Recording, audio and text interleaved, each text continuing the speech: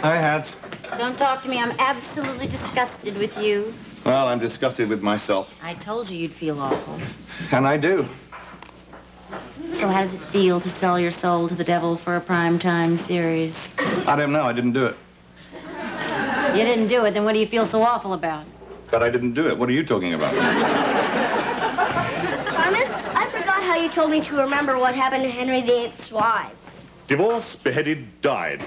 Divorce, beheaded, survived. sort of like my marriages, only I only had one divorce. Wait a minute. You mean this whole time you've been helping Daniel with his report?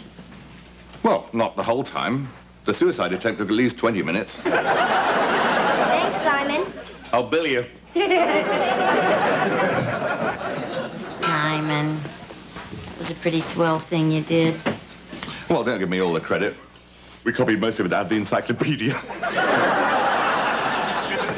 oh, Hads, I would have made a great defrock priest. Oh, honey.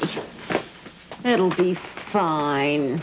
You just forget that old primetime series. You still have the soap. He's dead, nurse.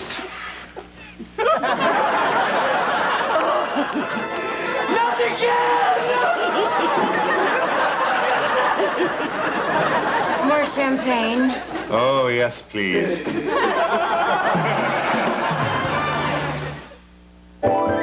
You're watching ABC.